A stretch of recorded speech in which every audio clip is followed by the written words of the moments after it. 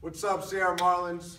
Coach Robert Gray here with Victory Performance. We're going to go over our week four, day one strength session. Okay, we're kind of transitioning a little bit. We're going to start to add in some tempo to some of these movements. You're going to notice that the reps are dropping a little bit. So you guys are going to need to find some ways uh, to load some of these movements a little bit heavier. Okay, you're going to get a supplemental video this week with some ideas uh, for ways to go about doing that. Okay. All right, so to start today's training session, you guys are going to go through Mobility Series 1, Ball Series 6, and Shoulder Series 1. Again, those links will be found on your PDF.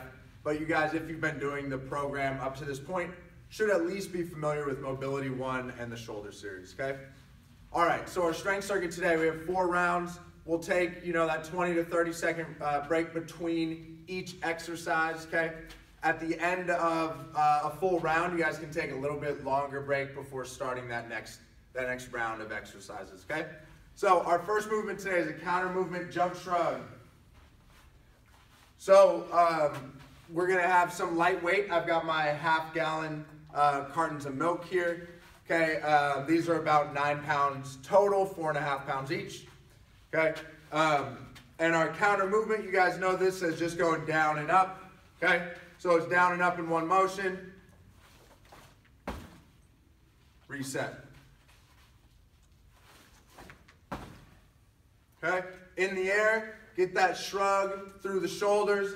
Okay, getting that good energy transfer from lower body to upper body.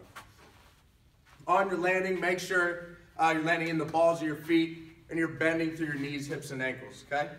After that, we'll go into our single leg RDL plus a row. So we were doing these two movements separate in our previous three-week phase, and now we're gonna combine the two. So you're gonna be on one leg, you'll need two weights. We're gonna do a single leg RDL, hinging down, getting our chest out over our foot. Then in this position, we're gonna row, making sure our shoulder blades retract, and then stand up.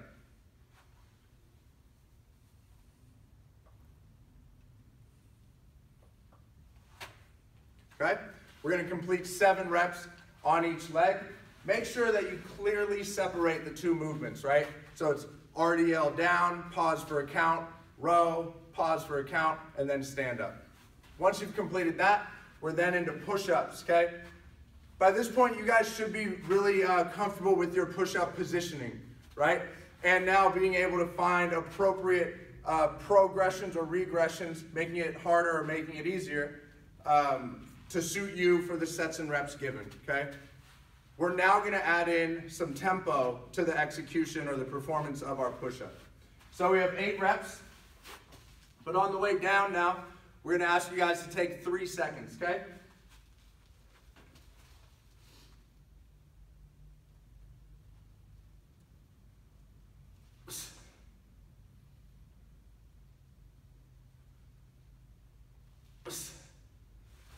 We'd like to also see you guys try to start driving out of that position with some intent, with a little bit of aggression, right? So it's really controlled down, kind of wind up, wind up, wind up, and then release all that tension at once as you drive out of the bottom. After you complete your eight reps, we're then gonna need a dumbbell or some type of weight that we can hold on to. I'm gonna use this tool bag, okay?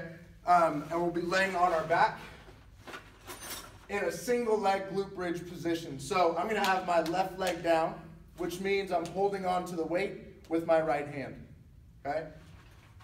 From here, I'll drive my ribs down, make sure my back's flat before lifting my hips. And then I'm gonna be going through chest presses with a three second lowering on each rep, keeping my hips high during the set.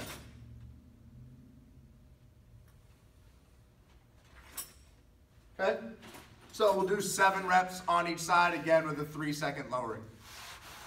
Yes, this is a chest press and it is an upper body strength exercise, but it is also uh, a core exercise, right? And we're learning to connect our lower body to our upper body through our torso. So really focus on finding tension there, okay, and owning that tension throughout the set.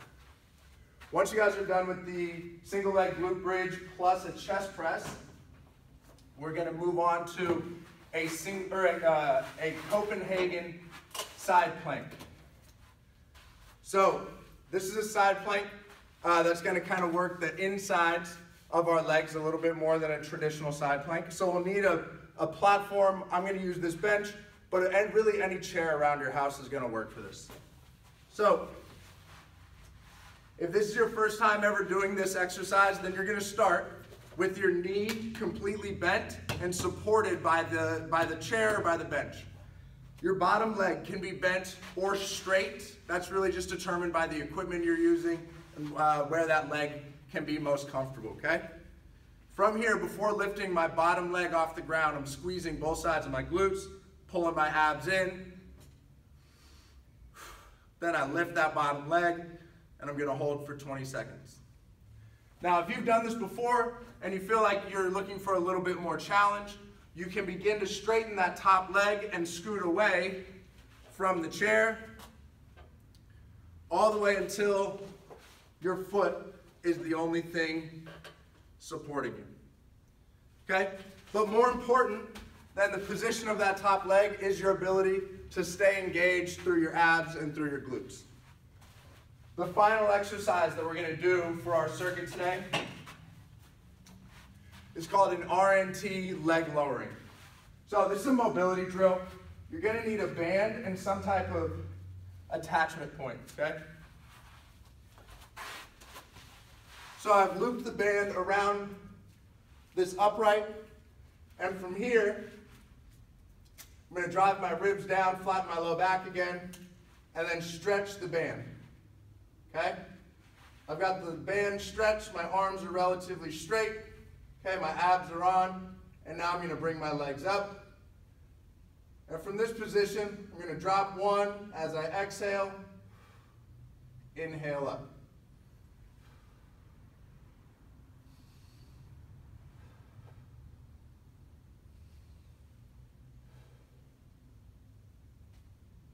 Okay? You have five reps on each leg there. Moving uh, as controlled as you can, really allowing your controlled breath to dictate that tempo.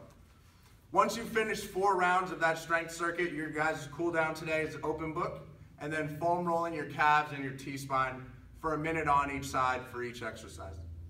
Once you've completed the cool down, you guys are done with your strength training for today. Good work.